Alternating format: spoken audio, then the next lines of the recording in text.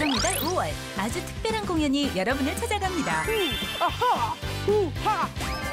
학생과 학부모가 하나 되어 만드는 독서 공감의 무대.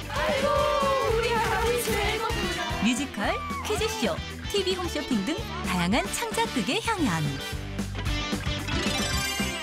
책으로 소통하는 공감극장 서로 서로. 많은 시청 바랍니다.